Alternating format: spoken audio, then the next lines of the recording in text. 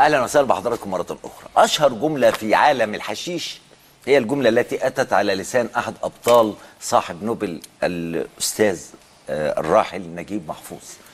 في قصة ورواية ترترة فوق النيل واللي اتعملت فيلم كان بطولة أحمد رمزي وميرفت أمين ونخبة من النجوم. كان فيلم عظيم وعماد حمدي. الجملة اللي قالها عماد حمدي والله لو حلال أدينا بنشربه لو حرام أدينا بنحرقه. وهذه هي النظرية. هو الحشيش حرام طب السجاير حرام. طب الخمور حرام. اذا القضية اللي بنناقشها ملهاش علاقة بالدين كله حرام. دول حرام حرام. بآراء كل العلماء. ليه؟ لأنهم يرون أنه يذهب العقل. طب أنت ليه سايب الخمور وبتحرم الحشيش؟ طب المنع ما منعش. وعندنا بيصرفوا بيصرفوا. بنصرف 42 مليار. طب أنا ده في غسيل أموال. طب أنا ممكن أمنع غسيل الأموال. وأقنن وراقب. واعمل ختم جودة للحشيشه تبقى كويسة مش مضروبة عشان ما يتحطش عليها مواد بتسموها إيه يا دكتور؟ الخلطات العطريه اللي بتتحط على الحشيش يعني؟ خلطات عطرية وفي مواد بتستخدم من بعض الأدوية بالظبط. والحبوب بتتحط بتبقى مدمرة لخلايا المخ فتبقى الحكومة ضمنت سيطرة على حشيشة نظيفة تعمل دماغ كويس بدل ما تعمل كارثة الموضوع مش عبثي الموضوع بجد بس خلوني أرحب بضيف العزيز دكتور محمود الحبيبي استشاري الطب النفسي بجامعة عين شمس وأشترك معنا في الحوار وسؤالي السريع أيهما أكثر تاثيرا على المخ سلبيا؟ الحشيش أم الخمور؟ الكحول طبعا. الكحول. طبعا الكحوليات الذي يؤدي إلى ارتكاب جرائم أكثر الحشيش أم الكحوليات؟ آه الاثنين زي بعض تقريبا. الاثنين زي, زي بعض, بعض. تقريبا. آه، أيهما أسهل في العلاج؟ لمن يقرر أن يشفى منه الحشيش أم الكحول؟ الاثنين زي بعض تقريبا. بس أعراض الانسحاب بتاعت الكحول قاتلة. آه، لكن أعراض الانسحاب بتاعت الحشيش أقل. أقل. الأعراض الانسحاب لكن كإدمان كمرض إدمان الاثنين تقريبا في نفس ال- المقام. أيهما اللي يمكن لصاحبه أن يتخذ قرارا منفردا بالتوقف عنه في حالة التعاطي الدائم الحشيش أم الحشيش. آه لأن هو الاسهل الكحول آه الكحول اسهل لأن الكحول أعراضه الانسحابية بتبقى قاتلة تشنجات و طيب اذا ما يطرح يقول أن ال- الكحول أكثر خطورة وده بيدعم ما يطرحه الدكتور أسامة الغزالي. دكتور أسامة هل حرية التفكير تبيح لي إن نذهب إلى أي شيء إلى أي منطقة دون النظر إلى طبيعة هذا المجتمع أو انعكاس الأفكار عليه ما هي اللي أنت قلته بت يعني بت بتطرح المشكلة إلى أي مدى هناك إمكانية في المجتمع وللنخبة والمثقفين أن يتقبلوا افكارا غير تقليدية. وأنا شخصيا شايف إنه أحد ملامح التقدم في أي مجتمع والنضج في أي مجتمع القدرة على الاستماع إلى هو غير تقليدي من الأفكار. والسماع. يعني مش شرط تاخد خد الفكرة وارميها مش دي المشكلة. إنما خد ال- ما هو جديد وغير مألوف برغبة في ال- بالفهم وفي النقاش. دي مسألة أساسية. وده برضو يا خيري وأكد مرة تانية هو ده الدافع أساسي امبارح. مش بتكلم خالص في الموضوع كان ممكن الموضوع حاجة تانية خالص. نعم. إنما أن أشاهد شخصا يطرح فكرة غير مألوفة ثم تنهال عليه الشتائم هي انهالت. الشتائم وحضرتك دافعت عن. المبدأ آه ولكن أعجبتك الفكرة الفكرة آه، لا لا رجعت بعد كده يعني أنا أنا عندي معلومات إنه فكرة تحريم أشياء معينة في بعض المجتمعات ده بيؤدي إلى استهلاك أكتر بكتير من اباحتها وعلى سبيل المثال إنه حتى تحريم اكتشاف- قانوني القانوني بالظبط نعم. يعني مثلا من المؤكد إنه الخمور الكحوليات مش محرمة في مصر ومحرمة في بعض المجتمعات الخليجية. أنا أدعي إن استهلاكها هناك أكثر بكتير من مصر لأنه ما نسبة كم مصريين بي بي بي بي بي بيستهلكوا الكحوليات. إنما بنشوف إحنا ناس ثانية بتبقى حريصة إنها تاخد في في شنطها وتروح بيها البتاع دي علشان إذا في الحقيقة وبتتشرى من السفارات وبتتصنع في. البيوت. في ناس عاملة. معامل تكرير في بيوتها يعني. كده. ففي الحقيقة هي فكرة أو فلسفه أو منطق كيف يمكن إنك أنت آه تحارب عادة سيئة معينة أو آه استهلاك سلعة معينة بطريقة فعالة؟ مش أكتر من كده. هل إنك أنت تمنعها منعا جنائيا وقانونيا وتبعد بها ولا إنك أنت تبيعها وتراقب استهلاكها؟ ده, ده أسلوب وده أسلوب. وكلاهما يستهدف طيب اذا إذا طلبت من حضرتك أن توجه أسئلة إلى ضيفي العزيزين في هذا الإطار حيث إعجابك بالفكرة من حيث المنطق لدعمها أو لدحضها فماذا تطرح؟ لا أنا أنا برضه يا خيري بقول لك مرة واحدة أدعو لمناقشتها. أيوه ما أنا عايز حضرتك أسمع منكم بقى إلى أي مدى هي تكون جديرة بأن تؤخذ أو أن تنبذ. ده اللي أحب أسمعه. تمام اتفضل أنا هبدأ بفكرة هو إحنا ليه بنعمل قانونية لشيء أو بنخليه غير قانوني؟ نعم. وهبدأ بالجزء اللي اللي تبعي اللي هو الصحة. وللأسف ده جزء من كل. يعني من أوائل الدول اللي سمحت بالحشيش كانت هولندا كان السبب اقتصادي بحت. نعم. مش سبب صحي. و بعد كده بيبتدي يتحط السبب الاقتصادي جنب السبب الصحي جنب السبب الاجتماعي ويحط القانون. من التجارب اللي كانت مثيرة للاهتمام آه، برضه حضرتك إن حضرتك تطلع عليها. هي تجربة المملكة المتحدة نعم. بريطانيا. في سنة 2004 هي نزلت الحشيش من category B drug ل category C drug يعني حاجة زي مثلا من جناية لجنحة. بعد لما زادت حوادث الطرق وزادت نسبة الناس اللي بتدخل في المستشفيات النفسية من حالات الفصام من 2009 طلعت تاني حرمته أكتر. وهو ده الفكرة اللي يمكن المشكلة عندنا في مصر. إحنا لما بناخد قرار ممكن يبقى صح ممكن يبقى غلط لأن في الآخر الحكومة أو أي برلمان هو بشر. ما بيدرس تبعياته بشكل كويس. في موجة من آه، تقنين الحشيش موجودة في الولايات المتحدة بالذات يمكن أكتر من أكتر من الدول وهو الحاجة اللي حضرتك قلتها بالظبط هي فكرة إن الكحول أكثر ضررا من الحشيش. نعم. واللي أكثر ضررا منهم هما الاثنين التبغ السجاير.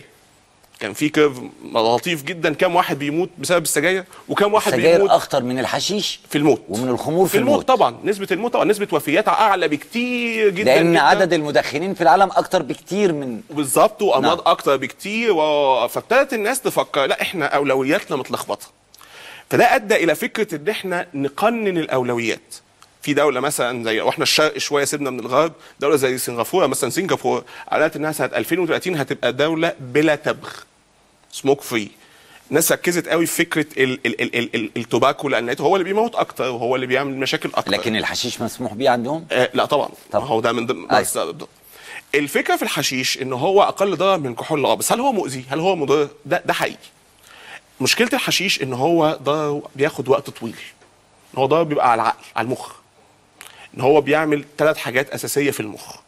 الحاجة الأولانية غير الحاجة اللي أضافها أستاذ محمود اللي هي إن هو يدخل في مواد تانية الحاجة الأولانية هي فكرة إن قدرات الشخص العقلية بتقل وفي بحث كان عامله آه، ايا كانت الكمية اللي بيشربها يعني أيوة. لو بيشرب كمية قليلة على مدى طويل بتؤدي إلى نفس النتيجة غالبا آه بس هي الفكرة إن هو لما الشخص بيبقى مبسوط ما بيبقاش كمية قليلة على مدى طويل آه. آه. يعني غالبا و فمثلا في بحث كان مشهور جدا معمول في الستينات كان دكتور عكاشة الله يمسيه بالخير ودكتور سويف الله يمسيه بالخير عاظمه الطب النفسي وعلم النفس قاسوا الفلاحين اللي بيشربوا حشيش والفلاحين اللي لأ. لقوا إن الفلاحين اللي بيشربوا حشيش قدرتهم الإنتاجية وإن هم بيتعاملوا من مع الزرع أسوأ بكتير من اللي ما بيشربوش ده من الستينات. فالفكرة مطروحة من زمان. فأول حاجة هي القدرة على التركيز. تاني حاجة هي ما يطلق عليه الفصام. الفصام من في نسبة من اللي بيدخنوا الحشيش لا تقل بأي شكل من الأشكال. عن من 5 ل 10% بيجي لهم أعراض تهيؤات ضلالات شك مرضي وللأسف الفئة دي إحنا ما بنشوفهاش لأنها بتنعزل. ده بيبقى غير الشخص اللي هو ال creative اللي هو المبدع اللي هو بيشرب السيجارة ويطلع يغني أو أو. الفئة دي بتندثر تماما وبتنعزل تماما لأن مرض الفصام بطبعه بيعمل تدهور ولو إن العلاجات الجديدة بتدي نتائج كويسة. فالمشكلة الثانية هي المشاكل النفسية وعلى رأسها الأمراض النفسية وعلى رأسها الفصام وبعديه يجي الاكتئاب. المشكلة الثالثه والأخيرة هي فكرة ما يطلق عليها غياب الدافعيه amotivation وهي دي الحاجة اللي فيها خلاف في العالم كله. إن اللي بيشربوا حشيش بس بكميات كبيرة برضه احقاقا للحق بيبقى مش عايزين يعملوا أي حاجة. بيغيبوا من شغلهم أكتر. إنتاجيتهم بتبقى أقل اهتمامهم بأسرتهم بتبقى أقل حوادثهم بتبقى أقل. هو ده اللي عمل مش مشكلة. على الناحية الثانية الناس بتقول إن الكحول أخطر. عشان كده مثلا الولايات المتحدة دلوقتي 20 ولاية في طريقها في طريق يقننوا إلى التقنين و20 ولاية أو بقية ال 50 ولاية في منع في خلاف. في الخمور. آه، في في الحشيش. في الحشيش. في الحشيش في نعم. خلاف. في ولايات قاعدة تقنن أنا وجهة نظري إن إحنا لازم نشوف التجارب دي لآخرها. بمعنى من الحاجات اللطيفة جدا في لما ندرس الولايات المتحدة صحيا إن مثلا لما بيقيسوا الناس اللي سامحين بالكحول اللي عند 21 سنة في الولايات يعني الولايات اللي سامحين 21 سنة مقابل اللي سامحين ب 18 سنة بيشوفوا نسبة الحوادث. يلاقوا نسبة الحوادث أكتر في 18 سنة وإدمان يقولوا يبقى القرار ده أسوأ. فقصدي أنا شايف إن إحنا عندنا معلومات كتير جدا ضد الحشيش لكن في موجة من آه، تقنينه خصوصا في الولايات المتحدة متقابلها موجه من المنع تقابلها في الشرق عشان موضوع الكحول. لازم ندرس أو بعد كده إيه اللي هيحصل في الولايات اللي هتقنن نعم. وإيه اللي هيحصل في الولايات اللي هتمنع مع الأخذ في الاعتبار النقطة اللي الأستاذ محمود اللي لها مهمة جدا إن الناس دي لما بتحط قانون بتنفذه. يعني خليني اسال حضرتك سؤال في سؤال ممكن هو سن الكحول في مصر كام سنة؟ سن السجاير. سن الكحول. 21 21 سنة. نعم. هل سمعنا عن قضية إن واحد عنده 19 سنة راح يشتري كحول؟ حتى لو إزاز بيره وحد قال له لأ. أو اتمسك يعني قصدي إحنا عندنا القانون النقطة اللي حضرتك قلتها دي مهمة جدا. لكن خلينا نقول فإن شاء الله هنبقى دولة بتنفذ القانون بحذافيره. فنراقب التجارب. لكن حتى الآن عشان كده حتى الآن المعلومات ضد الحشيش. عشان كده الدول اللي بتقنن أقل بكثير من الدول اللي بتمنع. وحتى هولندا اللي هي يعني واحة الحشيش من زمان وعندها متحف الحشيش وهاوي الحشيش الاتحاد الأوروبي بيعمل عليها ضغوط شديدة. عشان مع غياب الحدود ابتدت يحصل مشاكل. طبعا وحتى لابد إن السادة المشاهدين يعرفوا انه حتى في هولندا أو الدول اللي بتقنن في مساحة للشرب وفي تحليل عينات دم آه وممنوع قيادة العربيات ومش من حقه يشيل حتة كبيرة ولو شال أكتر من الجرامات المحددة بيتقبض عليه وتتعمل له قضية. آه بس أنا عايز أسأل يا خير هنا سؤال. اتفضل. أنا طبعا إحنا لا يعني ما فيش أي حد بيقول إن إدمان الحشيش حاجة كويسة. طبعا دي دي, دي, دي كارثة. أنا بتكلم عن إحنا القضية بتاعتنا برضه كانت حاجة تانية. كيف يمكن مواجهة إدمان الحشيش وكانت محاربة الحشيش وكيف يمكن التقليل منه؟ هنا الطرح ده مختلف. هنا ما أنا هكلم بس يعني هل من خلال المنع بالطريقة الحالية اللي هي في الحقيقة ما أدتش إلى أي فعالية ولا من خلال الإباحة المنضبطة قانونا؟ ده السؤال. آه. أي ال- أي الأسلوبين هو الذي يمكن أن يؤدي إلى فاعليه أكثر في ال ال يعني الهدف ان إحنا عايزين هو منع أو تقليله بقدر الإمكان. أنت عايز تك- تقريره دلوقتي؟ أصل السؤال ده بتاع تقليل. عايز تقريره ولا تقنينه؟ لا. تقليله. أنا أنا بقول إن أنا هدفي في النهاية إني أقلل من هذه الظاهرة لأقصى الحدود. هل يتم هذا من خلال المنع بالطريقة الحالية؟ أو من خلال الإباحة المنضبطة بس. أنا برضه هرد من تجارب الدول. آه. في قص في قصتين. قصة هولندا. هولندا لما أباحت ال- ال- الحشيش ما ما زادش وما قلش الاستهلاك. دي دي تقاريرهم. على على نحو آخر الولايات المتحدة وسنغافورة برضه لأن سنغافورة هي دولة غريبة بتمنع اللبان يعني هي عندها حاجات مختلفة. آه الدول اللي بتحط أو نقول الأول الولايات في الولايات المتحدة اللي بتحط قوانين منع تلقائيا الاستهلاك بيقل. مش في الحشيش إحنا بنتكلم الحشيش لسه موضة جديدة إن هو يبقى يتقنن بس بنتكلم مثلا في سن الكحول بنتكلم في فكرة كمية الكحول. مثلا دول زي اسكندنافيا بما إن الناس ليها كمية محددة لا يمكن تجاوزها في أخذ الكحول فنسب الأمراض اللي بتحصل من الكحول أقل بكثير من الدول اللي مفتوحة زي المملكة المتحدة مثلا في أوروبا. ده أحد الأسباب اللي دول اسكندنافيا مش عايزة تدخل. في الاتحاد الأوروبي على على كله يعني عشان القوانين الصحيه عندهم أقوى. فالواقع بيقول حتى الآن إن المنع بس بشكل صح وهي دي النقطة اللي إحنا عايزين أظن مهمة المنع بشكل صح بيقلل الاستهلاك. هذه حقيقة. نعم. آه ف لكن فهل عندنا إحنا بقى المنع بشكل الحالي مناسب؟ أنا أظن إن المنع بشكل الحالي محتاج إن هو يحصل فيه تغييرات زي ما أستاذ محمود قال في موضوع الترامادول لكن هل الحل في التقنين؟ الإحصائيات في العالم كله بتقول إن تقنين أي شيء بيزوده. التجربة الوحيدة المختلفة كانت تجربة هولندا. قالت أنا ما زادش ولا قل. ولا. فضل العدد هو هو هو. لكن العبء اللي على الشرطة والفلوس اللي دخلت لي كانت أكتر وده اللي يمكن قلته في الأول إن السياحة جت لي بقوة بقى في ضرائب والشرطة ما بقتش مهمومة بإنها تمسك الحشيش. فده يعني خلاص أنا موافق على ده. هل عشان- صحة الهولنديين تأثرت؟ يعني هل ثبت أن الأمراض زادت والجرائم والحوادث زادت في هولندا بعد تقنين الحشيش؟ ولا مفيش دراسات أنا ما عنديش المعلومة دي لكن إنجلترا حصل فيها كده إنجلترا حصل حصل فيها كده. دولة إنجلترا حصل فيها كده. بالظبط آه، لكن أنا ما عنديش آه، تقارير على هولندا أو ما عنديش معلومات عن هولندا طيب أستاذ محمود إذا إذا بحثت عنك عن هي إيه فوائد الحشيش؟ يعني آه، آه، علشان نقول حتى وإحنا بنقنن التقنين اللي بيطرحه الدكتور أسامة. أنا مقتنع أن الحشيش ضار لكن بدور كيف نواجهه هل بالتقنين أم بمزيد من الضوابط القانونية بإجراءات ضبط بخلافه. إذا الهدف الأساسي هو مواجهته وليس لأنه بيعمل. أنا بدور على اللي بيعمل بقى. هو بيعمل إيه؟ هو القصة كلها ببساطة شديدة جدا. حضرتك سؤالك ده بيجرني لسؤال تاني أكثر صدمة يعني. وإحنا ده بنستخدمه دلوقتي كمان في التوعية المختلفة. لما يجي أسأل الشباب وأنا بشتغل معاهم بقول لهم هو الحشيش أو المخدرات حلوة ولا وحشة؟ فالرد التقليدي بتاعهم عشان يبقوا متماشيين معايا وأنا بتكلم وما انزعجش منهم وحشة يا فندم. وحشة؟ مين قال لك إنها وحشة؟ أنت جربتها؟ فواحد منهم بقى قال لي صاحبي قال لي جربها وقال لي إنها حلوة. فانا مسكت بقى في الإجابة بتاعته. قلت له بقى عشان إحنا نعمل وقاية حقيقية الوقاية الحقيقية هتبتدي من المعرفة السليمة. وان يبقى عندي ببساطة شديدة جدا ريزيلينس عالي داخلي ثبات نفسي داخلي عالي.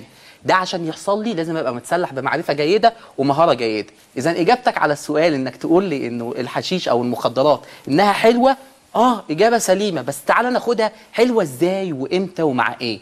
لما أعرف كويس قوي هعرف أجاوب صح إيه بتشرب لها حاجة معاه ولا لا إيه؟ ما هو ده اللي إحنا بنقول عليه إحنا. بنقول في مرحلة اسمها مرحلة شهر العسل ما بين المتعاطي وما بين ال- المادة المخدرة اللي هي مرحلة التجربة اللي هي أخطر مرحلة اللي هو بيشوف فيها كل ال- التحقيق للشائعات اللي سامعها عن المادة المخدرة هو بيشوف إنه الحشيش بيخليه مبسوط عامل له فوريا عالية قوي من الانبساط بيهرب من مشاكله أزماته مش. قادر يركز فيها فمريح آه دماغه. فبيشوف مخدر تاني إنه بيزود له قدرته على العمل بيشوف مخدر تالت بيزود له بتفتح شهيته للأكل. حاجات كتير جدا. آه. آه. هنا بقى في المرحلة دي بقى هو بيقتنع إن المخدرات بالنسبة له إيه؟ حلوة.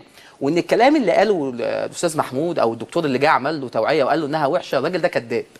تمام. فكل المعلومات اللي هو بيقولها بعد كده مش هصدقها. وبالتالي أنا بقتنع إن كل القصة دي ماشية بالنسبة لي منطقية وإن أنا المعلومات هنا آه، غير منضبطة فأنا همشي في السكة دي. لكن لما بيدخل بقى لمرحلة التعاطي ومرحلة الإدمان بيكون كده بتشبيه بنقوله لهم هو نزل من على الأكوا بارك نزل من على الزحليق ما عندوش القرار إنه يرجع تاني في النص. فيبقى نعم. قراره إنه يرجع تاني في النص صعب جدا اللي هو قرار إن أنا عايز أتعالج. وهو ده أصعب القرارات اللي إحنا بنواجهها معاهم. عشان كده السبيل الأساسي بالنسبة لنا وعشان نتعامل مع موضوع زي ده مش فكرة كمان بس إن أنا أتيح أو أمنع بس لأ. أنا شايف إنه مش هو ده السؤال المحوري دلوقتي. السؤال المحوري دلوقتي إحنا بنعمل توعية للناس بخطورة الكحول والمخدرات وإساءة استخدام العقاقير الطبية زي الترامادول وما إلى ذلك من الأدوية الطبية اللي بنسيء استخدامها وكمان التبغ. إزاي هنعمل حملات توعوية مختلفة في تأثيرها؟ إحنا بنعمل حملات توعوية من زمان جدا. ولا ليه التأثير. على الأرض قليل؟ إزاي نقدر نوصل لأصحاب المشكلة الحقيقيين ونمكنهم؟ هي دي بقى دي المعضلة. هنا إحنا بقى لازم نشتغل بشكل مختلف. لما نقول إن إحنا عندنا روابط تطوعية فيها 26000 متطوع على مستوى الجمهورية من مين بقى المتطوعين دول؟ شباب في مرحلة ثانوي وجامعة. هم مين؟ هم أصحاب المشكلة الحقيقيين. هم أكتر شريحة في الم... في طيب أنت. وسعت لي الدايرة. بالظبط لازم أنا أوصل. وأنا بواجه المشكلة. إيه هي فوائد الحشيش. بيعمل إيه؟ حلو للي بيتعاطاه. عشان قلت لك. بيعمل الحلو اللي بيتعاطاه. هي الشائعات اللي بيعملها لا ماليش. دعوة بالشائعات. هي ده هو ده بكلمك عن مادة آه. بتقول لي نتيجة طب ما هي ممكن تغير برضه المزاجية. التام علشان الناس تصدقنا آه. ما تقنعنيش إن في حد بيدخل لعالم وما. بيحققلوش أي نوع من أنواع بيغير له المتعه حالته المزاجية أيوة. تمام بيغيرها له من من حالات ال- الضيق أو الحزن بشكل أو بآخر بيوصله لمرحلة من مرحلة السعادة وده بيحصل ليه؟ بيحصل إزاي؟ ده. مؤقتا يعني ممكن. يقلب معاه باكتئاب بعد كده بالظبط هو ده اللي. عشان كده لما بيفهموا هم الشباب حصل ده ليه هو بيعرف إنه في ال- الهرمون اللي بيسبب له السعادة في جسمه حاجة اسمها الدوبامين. ده لما بي... بي- بيجي من طريق المخدرات بيفرز بكمية كبيرة جدا تمام في أول مره فبعد كده عشان يفرز نفس هذه الكمية. بنفس الفترة اللي في السعادة بيحتاج إن هو يزود شوية إيه؟ في الجرعة. وهكذا يدخل هو في السكة دي. هو ده اللي بيشده في الأول فيما يخص الحشيش. أنا بس يا خير عايز أقول حاجة أرجوك. بس تبدو وكأنه إحنا بنعمل مناظرة بالناس بتدافع عن الحشيش وده إحنا المسألة مش كده خالص هو لا لا شك إن الحشيش كارثة يعني اذا نعيد السؤال يا دكتور آه. نحن نناقش كيف نواجه آه، بس الحشيش إحنا هل التقنين؟ بالظبط. يمكن أن يساعد بس كده آه ده السؤال السؤال. هو مش أيوة. هل الحشيش. طبعا طبعا هو فيها شكل حشيش مضر وكارثة طبعا إنما السؤال هو إزاي نقدر نحاربه بفعالية هل بالتقنين ولا بالتحريم إحنا قلنا؟ إن التقنين في في خصوصا وهي في المجتمع وقد نوصل وقد نصل إلى إن حكاية التقنين ده ك التقنين في مصر عايز في أوصل. مشكلة في جامعات إحنا بنقول في مصر في حاجة اسمها المجتمعات الهامشية اللي هو العشوائيات في الحضر أو القرى الأكثر فقرا في الريف المجتمعات هذه بطبيعتها ما ينفعش معاها التقنين ليه بقى لأن إيد الدولة مش هتوصل لهم طب يعني أنا ما أعرفش أوصل له بالتوعية يعني هفترض هفترض السؤال وهل آه. وهل نفع معها التحريم؟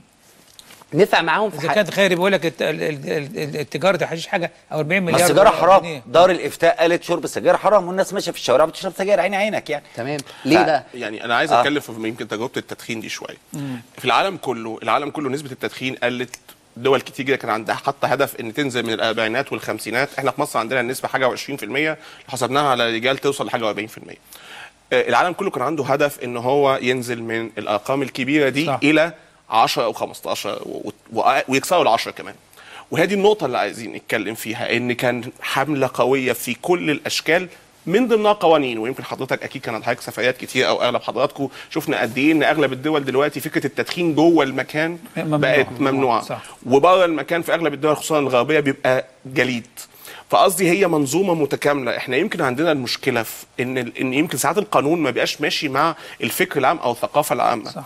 فهي فكرة القوانين بتفيد. بس القوانين بشكلها الحالي اللي مش ماشية مع المزاج العام أو اللي محاطة بالشائعات يعني حضرتك بتقول القوى الهامشية أنا ب... وأنا بدرس لطلب الطب أو دكاترة الامتياز بسأل سؤال بسيط جدا. يا جماعة تفتكروا الحشيش إدمان؟ الإجابة بتطلع أكتر من 50 60% لأ. طلب الطب خلصوا دراسة الطب بالكامل. تمام؟ رغم انه إدمان. رغم انه ادمان وموجود في التقسيم بتاع الادمان. فاحنا عندنا مشكلة مع الحشيش هي ان في مزاج عام انه عادي وكويس وحلو وما فيهوش مشكلة وفي قانون بيقول إن هو غلط وفي هيئة طبية أنا رأيي إنها منعزلة بتقول ده إدمان وبيعمل فصام وبيعمل وبيعمل. رايي التقليل أو المحاربة بتبقى بالتكامل بين الثلاثه مش قوانين بس لأن إحنا واصلين عند مرحلة القوانين بس. طبعا ما أعرفش حضراتكم حضرتوا أفراح شعبية ولا لأ لكن عادي خالص إن إحنا ننزل الفرح الشعبي. البيره والحشيش وكله ضرب نار. ففين عدم القانون؟ هو يعني وفي وكله مبسوط. بس لازم نعترف وإحنا بنقف قدام واحد من أكبر تجارة في العالم وأكبر بزنس في العالم المخدرات والسلاح والدعارة. بالظبط دول ثلاثة فإذا تساووا الثلاثه والثلاثه كوارث وممنوعين اذا فقولك الأخير دكتور محمود أنه لا لتقنين الحشيش إحنا نحتاج إلى مزيد من الفهم مزيد من المقاومة من التغ... القوانين الرادعة الرقابة الضبط. والتوعية. والتوعية. أستاذ محمود. أنا شايف إنه السبيل الأساسي للقصة إن يبقى في تكامل للجهود. قوانين مع جهود التوعية وإتاحة خدمات العلاج. دي نقطة غاية في الأهمية. بجانب جهود آه، مكافحة ال- الكميات أو مكافحة المرض يعني لا ترى أن التقنين حلا من الحلول أبداً. دكتور أسامة بعد ما اطرح فكرة أنه مضر صحيا مؤثر يؤدي لارتكاب الجرائم أن التقنين قد يزيد من المتعاطين إن المجتمع غير مؤهل حتى لمجرد طرح الفكرة فما بالنا بتطبيقها قد ينعكس إزاي هل ما زلت عند رأيك أن التقنين قد يكون حلا أم لا لا؟ لا أنا ما كنتش ما كانتش قضيتي خالص أنا قضيتي أن نطرح كل البدائل للتفكير لا أكثر ولا أقل. طرحناها بقى. بعد ما طرحناها لا قطعا مقتنع بكلامهم انه التقليد ده مش هينفع في بلادنا طبعا. طب اذا اللي بيسألوني أنتوا بتطرحوا موضوع زي ده ليه؟ الأفكار. هو أنتوا لما بنكلمكم في السياسة بتقولوا لنا زهقنا من السياسة حرام عليكم ارحمونا. لما بتطرح أفكار بإجراء رسمي حد تقدم لمجلس الوزراء فبنحاول نناقشها من منظور فكرة اتطرحت هل كل الأفكار يمكن أن تطرح؟ طب تناقش. طب إيه المانع إنها تناقش وتصل نصل إلى نتيجة زي اللي وصلنا ليها؟ أن تقنين الحشيش الحشيش حرام الحشيش مضر صحيا الحشيش يؤدي إلى مزيد من الحوادث إلى ارتكاب الجرائم أن العالم يتجه إلى منع التقنين في أغلبه يبقى بنصل إلى نتيجة. زعلانين ليه؟ صح. عشان سنغافوره ما فيهاش لبان سنغافوره فيها اللبان في الصيدليات بروشته آه اللبان بيتكتب في سنغافورة. كل بلد ولها سلو وانت رايح سنغافورة لو هربت البان هيبقى زي المخدرات وتبقى قضية. بشكرك جدا دكتور أسامة. شكراً. نورتني. دكتور محمود بشكرك. أستاذ محمود نورتني. شكراً كريم. بشكركم. هنطلع فاصل بعد الفاصل هستقبل ضيوفي الأعزاء. الأستاذة نيفين جامع رئيس القطاع المركزي لتمويل المشروعات الصغيرة جيهان عبد الحافظ إلهام محمد. محمد نصر الدين بقدم لكم تجارب حية لشباب بدأوا من الصفر ما كانش في جيبهم ربع جنيه بقى بيعملوا نص مليون ومليون. المهم إنك تفكر وتبتدي الصندوق فيه فلوس عايزين النهارده نطلع فلوس للشباب الصندوق بيقول لكم تعالوا هدربكم وهديكم فلوس تعمل مشروع. المهم تشتغلوا بعد الفاصل.